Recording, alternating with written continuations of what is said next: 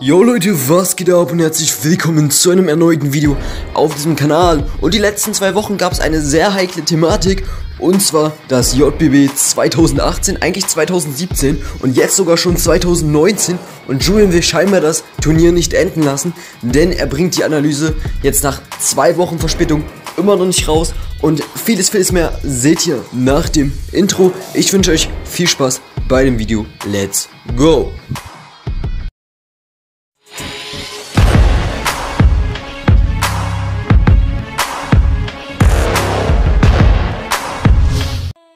Yo Leute, was geht ab und herzlich willkommen zu einem neuen Video auf diesem Kanal und ich habe gerade schon wieder komplett ins Mikro geschrien. Zumindestens, falls euch dieses Video gefallen sollte, euch diese Thematik gefallen sollte, dann kann ich euch nur dazu auffordern, diesen Kanal zu abonnieren, ein Like dazu lassen und die Glocke zu aktivieren. Dann verpasst ihr kein Video mehr. Zumindestens geht es in diesem Video, wie man es auch schon im Pre-Intro gesehen haben sollte, um die Thematik, wann kommt die JBB 2018 King Final Analyse, denn jetzt momentan ist es ja schon das JBB 2019 und es hat einfach im Jahr 2017 angefangen und ist somit jetzt schon mehr als doppelt so lang wie jedes andere JBB und da stellt man sich natürlich die Frage, wird Julian jetzt das JBB unnötig in die Länge ziehen oder was man auch sehr oft unter den Videos von Julian gesehen hat, wird Julian eine sechsmonatige Pause machen.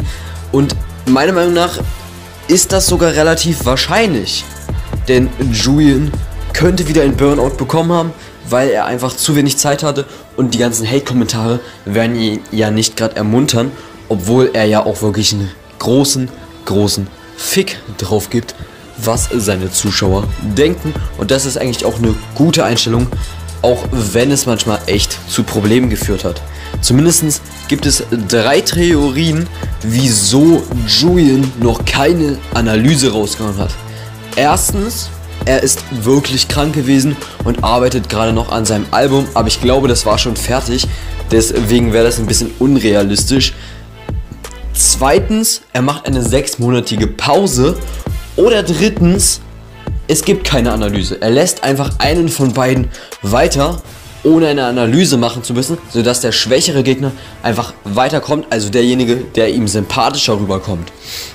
Und hierbei tendiere ich mal dafür, dass er Entertainment einfach weiterlässt, weil die Community nun mal Entertainment noch ein bisschen mehr mag als Timatic und so war es ja damals eigentlich auch schon bei Timatic gegen Clash Parker, weil Timatic einfach mehr Zuschauer hat und einfach mehr Aufmerksamkeit mit sich bringt. Auch wenn Timatic wirklich sehr, sehr stark ist und auch stärker als Clash Parker ist im Nachhinein, muss man echt sagen, Clash Parker hätte die Runde trotzdem gewinnen müssen.